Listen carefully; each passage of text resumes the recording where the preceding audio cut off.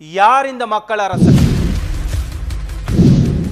உலகமே பசி பட்டினியில் சிக்கி தவிக்கும் பொழுது இவருக்கு மட்டும் எப்படி வந்தது இத்தனை கோடி? என்ன வருமானம் அறம் மக்கள் இயக்கத்திற்கு? இரண்டு லட்சம் பேர்களுக்கு இலவசங்கள். வழங்குவதற்கு எங்கிருந்து வந்தது பணம்? சிறப்பு செய்தி. உங்கள் பார்வைக்கு. லோட்டஸ் நியூஸ் தொலைக்காட்சியில்.